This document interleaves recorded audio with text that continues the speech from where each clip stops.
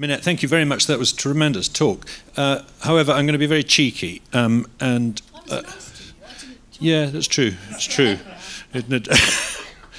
um, I just can't resist, as a uh, Conservative peer, um, talking to a union official, take, taking the side of the people against you uh, uh, on this question of the Corn Laws and the privileged few. Because uh, although you you uh, rightly say that you know we need to be worried about uh, what's coming in from abroad, etc. Um, it's if you go back to the Corn Laws debate in the early 19th century, the people who in, you know were defending the landowners who were doing well out of the Corn Laws, my ancestors, if you like, uh, they would often make arguments about the low quality of foreign produce. So we cannot have French uh, flour brought into this country. It's a, it's, it's all our children will die, etc. There is an element of exaggeration in this, is there not? And Jacob has a point, doesn't he? That footwear and clothing and food would, could be a lot cheaper for ordinary British people. Wouldn't matter much to the people in this room, but it would matter a lot to ordinary people. Look, it's, it's an extremely fair point, but I think the challenge is um, we don't want a bonfire of regulation. I mean, the Prime Minister has made it very clear that our standards are important to us and that we want to maintain them. And I think we all in this room believe in that. I don't want to see a bonfire of regulation. I want our standards maintained. But what I'm saying is that we should learn those lessons. You made the point about food prices. You know, when Uh, again, many of you won't remember it, but in the 70s and the 80s, 25, 30% of our annual income was spent on food. 12% of our annual income now is what we spend on food.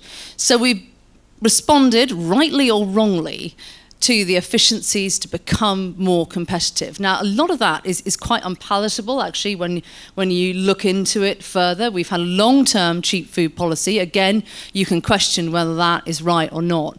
But the point I am saying is that you can't have it all. You can't decide that we are going to take the moral high ground and, and shaft our conscience and our standards elsewhere.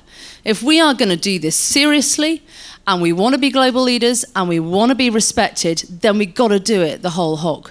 And so that's why I believe that, you know, you might say that what I'm saying is, is protectionist, and I think many people voted out of Europe because they wanted a more protectionist policy and they didn't realize that actually it, it's going to be very different.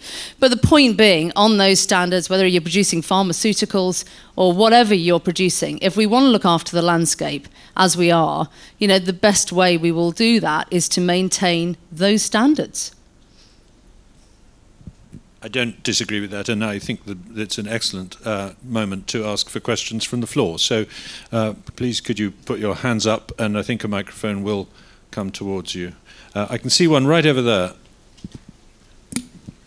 And I was strictly enjoined not to take them in batches of three, so I'm not going to. Don't know why, but there we are. So, yeah, Nick Lampkin from the Organic Research Centre. I think agriculture enjoys the privilege of being one of the most biologically based industries. And yet we've heard very little today about the possibility of ecological innovation as a driver for what we do. The focus is on technology, technology, technology. Now, there's good points for technology. I'm not against it, I use it. But I think there are many opportunities that we're missing to drive things forward on an ecological basis. Um, many other countries are driving forward much faster than the UK in that direction, especially in relation to agroecology and organic farming and agroforestry and issues like that. France, Germany, you name them, they're all ahead of us. Um, but we're not talking about that today. We don't seem to be. We seem to be missing that. I wonder what you think. Uh, Nick, look, it's, it's a really important point, and you know we have, uh, and you've visited it many times. We have an organic forum um, within the union, um, sharing best practice with our organic farmers. I think has been enormously uh, valuable to conventional farmers. So it, you know it is. It's about everything that, that George Freeman and others have said, but it is also about, you know, getting back to farming. And one of the challenges we have had is that we do not have the rotations that we used to have through many um, challenges, not least um, disease. We do not have um, the, the mixed livestock that we used to have. So getting our inorganic fertilizer back into the system, um, you know, maybe hasn't happened as well as it could have done. I mean, I think that we both share the same ambition there. But you know, for organic farming, you rightly want and deserve a premium, and, and that is how it should it should remain. Any other questions? Uh,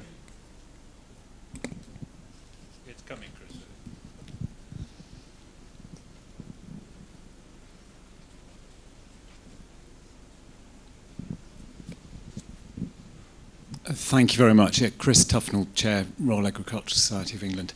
Um, I, think a lot of us are welcoming the uh, public money for public good dialogue, and um, uh, Michael Gove is very enthusiastic in how he delivers a, a lot of um, how these public goods are going to be delivered. But the 3 billion number is still there, and we're saying that's how it's going to be directed. Now, some of the public goods that, that farmers are going to be paid for, they may already be delivering, which is, is fine. But some of the other environmental enhancements or environmental um, protection measures they're going to have to take are going to take up resources in terms of time and, um, and money.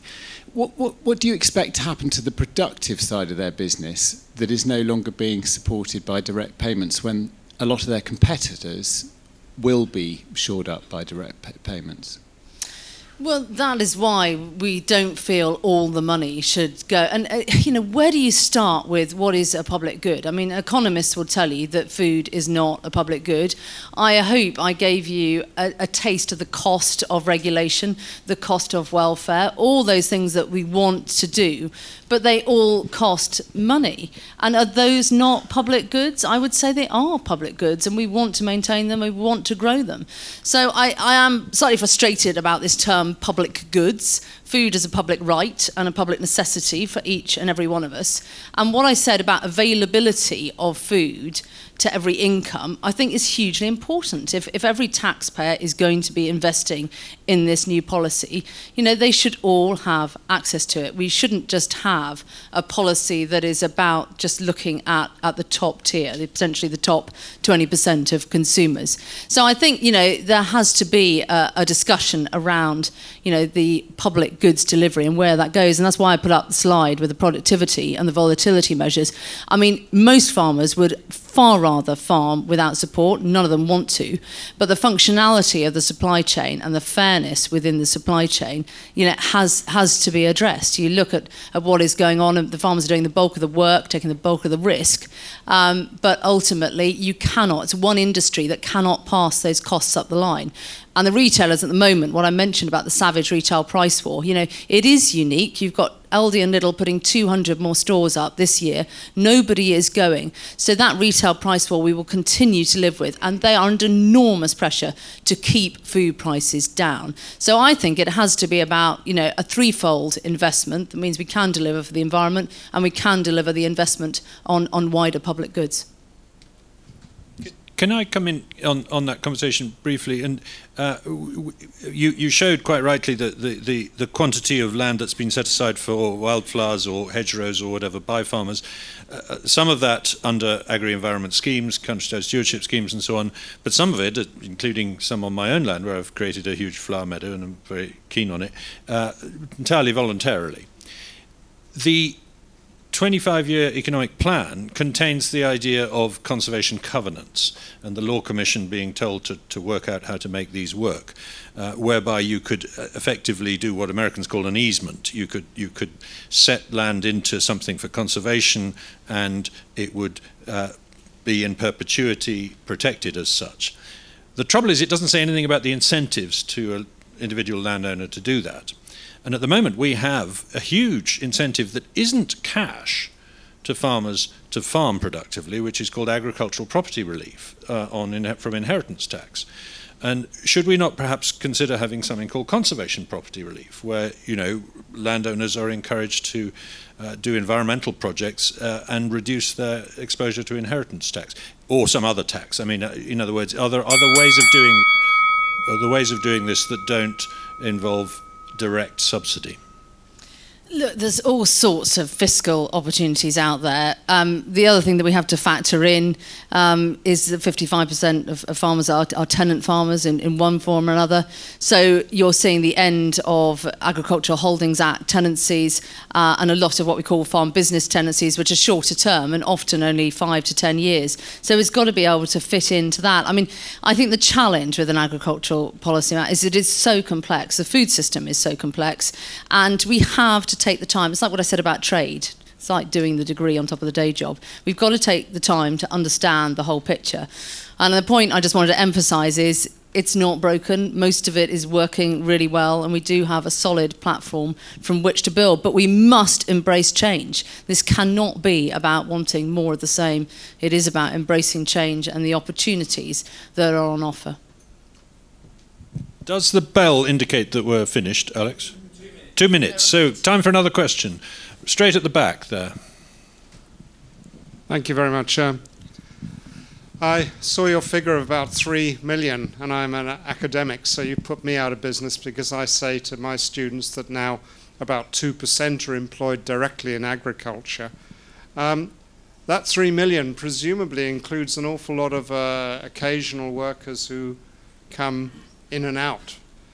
With uh, Brexit, what do the, your members want to happen in terms of the need for, you know, seasonal labour? So uh, the future workforce is, is a massive challenge. I think we all thought many things. I mean, certainly the NFU never thought it would be lobbying on the future workforce. So we have approximately 80,000 seasonal workers that, that come to the UK um, to pick, plant, pack, grade our fruit, flowers and vegetables.